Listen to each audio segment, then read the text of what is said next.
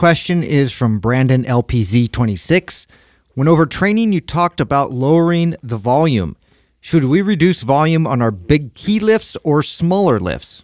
You could reduce volume on either of them, but you want to consider the following. Um, the big lifts have a larger impact on your body's ability to recover than Yeah. the small They're doing way more. Squats doing way more damage than a tricep Yeah. pushdown. So if you're, but it's also sending the loudest muscle building, strength building, you know, adaptation signal as well. So if you're like really overtrained and you've identified that, oh wow, I'm I am not good at all and I'm really fatigued, um, then you're probably going to want to look at reducing volume in both big, big lifts and smaller lifts.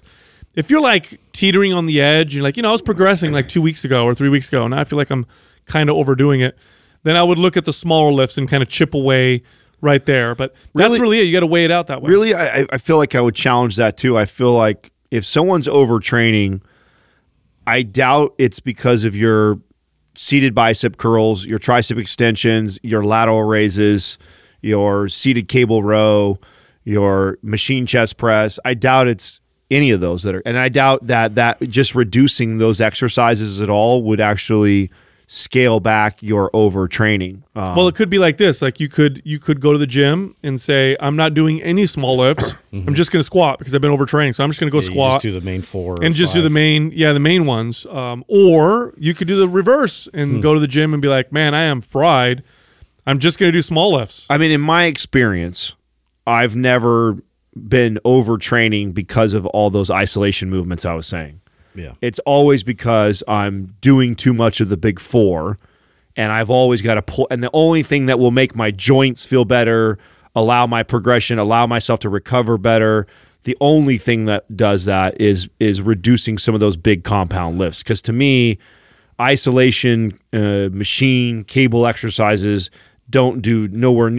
I feel like I could do those uh, five times a day, every single day. Non, they're almost like trigger sessions. I mean, they're yes, you can still train some of those movements to be tough, but I don't get inflamed joints. I don't get like se- severe fatigue. I don't see myself setting back my strength and, and truly overtraining unless I'm. See, I've experienced um, the opposite. And I don't you? mean yeah, and I don't mean that. I'm not disagreeing that those that those exercises don't uh, cause a lot of damage to the body. I agree with that part. What I mean is that I've gotten to the point where I feel like I'm overdoing it.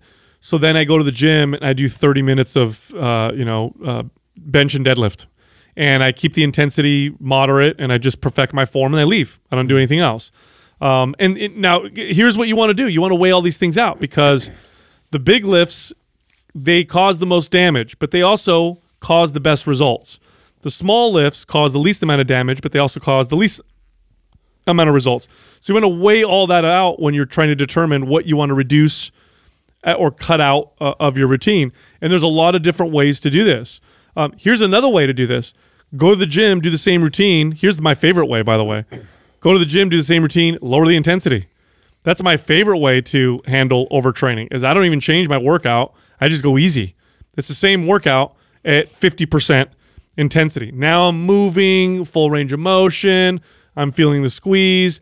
I'm at half the intensity I normally am. I'm still doing all the same stuff. I tried out try that out for a little while. Uh-oh, still not enough. I still need to cut back a little more cool. Now I'm just going to do same thing, low intensity, but big major lifts. Yeah, I would to the gym. assume there's a scale like of, of Yeah. yeah. reducing like one thing at a time. So that makes sense in terms of intensity and then maybe lowering the reps or like one of the other variables and then, you know, addressing uh, which one uh, causes you the most fatigue and, you know, to kind of like program accordingly. don't you guys feel it's kind of obvious sometimes I- for you too? I feel like like when I To us, when man. I, know what I'm feeling. yeah. Right, like I know I know when I overreached on my Yeah. deadlifts. I know when I overreached on my squat, and it's normally those things. You'll that, feel it in certain areas. Oh yeah, well I just know. I know because today I decided to do eight sets, and it was programmed for me to do mm. four or five, but I was feeling it. Or mm-hmm. today I was supposed to be training in the eight to ten rep range, but man, I was feeling so good. I wanted to see what singles look like mm. today. You know what I'm saying? It's normally those fucking things that you do where you probably knew you were overreaching when you did it, and then you get the signs of the achy joints, the mm-hmm. inflammation, the not recovering in time, like or sitting going backwards in weight. Like,